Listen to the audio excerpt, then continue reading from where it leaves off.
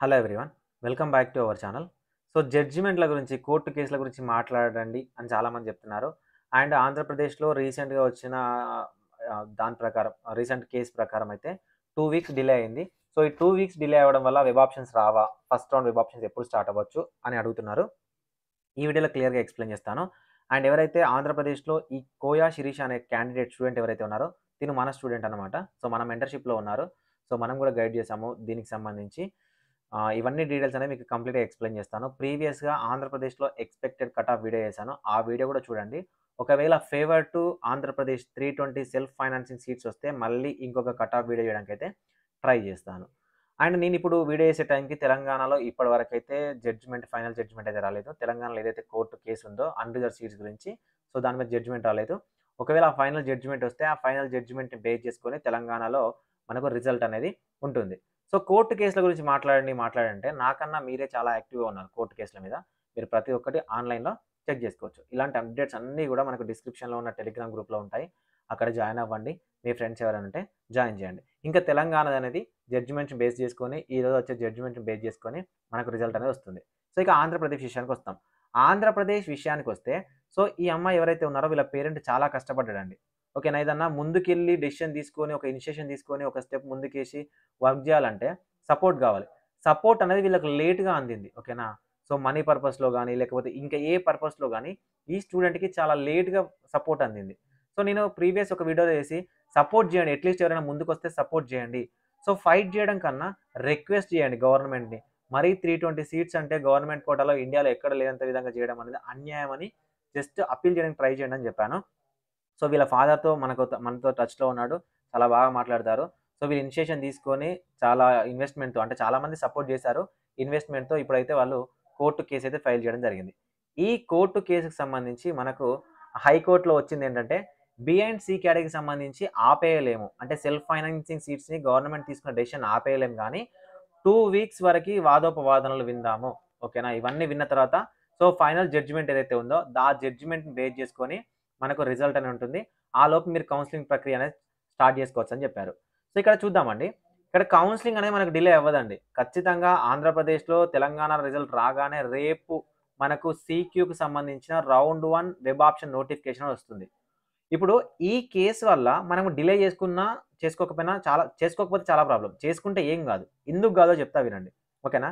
ఇప్పుడు three twenty seats అనేవి మనకు సెల్ఫ్ ఫైనాన్సింగ్ సీట్స్ అండి. ఓకేనా? ఈ త్రీ ట్వంటీ సీట్స్ పోను. మిగతా సీట్స్ అని మనకు కన్వర్ కోటాలో ఉన్నాయి. ఇప్పుడు కన్వర్ కోటాకు సంబంధించిన రౌండ్ వన్ వెబ్ ఆప్షన్స్ వచ్చాయి. రౌండ్ వన్ రిజల్ట్స్ కూడా వచ్చింది అనుకుందాం. ఫర్ ఎగ్జాంపుల్ ఓకేనా రౌండ్ వన్ రిజల్ట్ కూడా వచ్చింది. సో రౌండ్ వన్ రిజల్ట్ తర్వాత ఒకవేళ జడ్జ్మెంట్ అనేది ఫేవర్ టు ఆంధ్రప్రదేశ్ స్టూడెంట్ వచ్చింది అనుకోండి ఈ త్రీ ట్వంటీ సీట్స్ అనేవి రౌండ్ టూకి యాడ్ అవుతాయి. ఓకేనా ఒకవేళ ఫేవర్ టు ఆంధ్రప్రదేశ్ స్టూడెంట్స్ కాకుండా ఫేవర్ టు గవర్నమెంట్ వచ్చింది అనుకోండి రౌండ్ టూలో ఈ సీట్స్ అనేవి యాడ్ అవ్వవు. ఓకేనా సో ఈ జడ్జిమెంట్ కోసం అంటే ఈ ఫైనల్ జడ్జిమెంట్ కోసం రౌండ్ వన్ని ఆపేసుకోవాల్సిన అవసరం లేదు. ఓకేనా? రౌండ్ వన్ వెబ్ ఆప్షన్స్ ఇచ్చుకొని రౌండ్ వన్ రిజల్ట్ ఇచ్చి రిపోర్టింగ్ ఇచ్చినా కూడా పర్లేదు. ఇక్కడ కొంతమంది అనొచ్చు అన్న మాకు ప్రైవేట్లో వస్తుంది మేము ఇన్వెస్ట్మెంట్ చేయలేము కదా అది మా ప్రాబ్లం అంటే. అది ఒక్కటే ప్రాబ్లం అండి. వన్ టైం వెబ్ ఆప్షన్స్ ఉండడం వల్ల అన్ని కాలేజీలు పెట్టుకోవాలి. అన్ని కాలేజీలు పెట్టుకోవడం వల్ల ఏదో ఒక ప్రైవేట్ కాలేజ్ వస్తుంది. సో మేబీ ఈ గవర్నమెంట్ కాలేజ్ వచ్చేది ప్రైవేట్ కాలేజ్ వస్తుంది. సో అదొక్కటి కొంచెం ఇబ్బంది అవుతుంది. కాకపోతే నాకున్న దాని ప్రకారం నేను అనుకుంటున్నాను ఏంటంటే వైఎస్ఆర్ వచ్చేసి ఫస్ట్ రౌండ్ అనేది కండక్ట్ చేయడానికి కండక్ట్ చేస్తారనుకుంటున్నాను ఎందుకంటే ఇక్కడ కూడా కోర్టు కూడా ఎక్కడ కూడా కౌన్సిలింగ్ ఆపండి అని చెప్పలేదు. కౌన్సిలింగ్ అనేది ఫైనల్ జడ్జిమెంట్ బేస్ చేసుకొని ఉంటుంది రిజల్ట్ ఫైనల్ రిజల్ట్ అనేది. సో వీళ్ళు ఏం చేస్తారు?